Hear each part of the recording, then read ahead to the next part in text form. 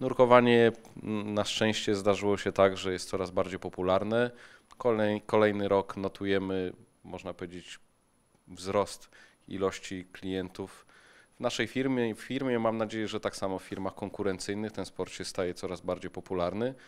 Może przez pryzmat tego, że, mm, że, że jest coraz bardziej dostępny, tak? przez, przez wzgląd na wielu instruktorów, którzy no jakby doświadczyli tej, tej możliwości organizacji czasu, ale też przez pryzmat wykonywanego zawodu, bo można powiedzieć, że instruktor nurkowania to jest również zawód.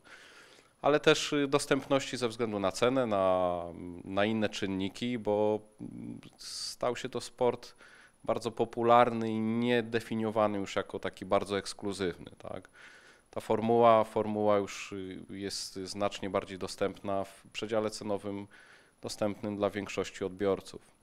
Oczywiście, tak jak w każdym sporcie, e, trzeba poświęcić temu jakoś odpowiednią ilość czasu. Niestety można powiedzieć, że nie jesteśmy zbyt dobrze usytuowani geograficznie, mm, jeżeli chodzi o nurkowanie rekreacyjne, tak, zarówno klimatycznie, ale też i kwestii dostępności akwenów. Wiadomo, polskie jeziora, nasze Morze Bałtyckie są bardzo ciekawe, tak, ale niestety mają pewne ograniczenia ze względu na temperaturę, widoczność.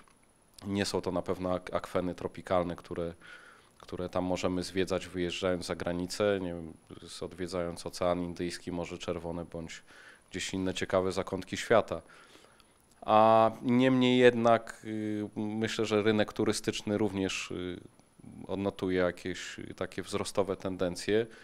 Ludzie nauczyli się wy, wykorzystywać y, efektywnie swoje urlopy i spędzać je tak samo w formie aktywnej, czyli żeby to nie było tylko leżenie na, na plaży na leżaku i, i siedzenie przy barku hotelowym, ale też jakaś fajna, aktywna forma wypoczynku, taka jak między innymi nurkowanie.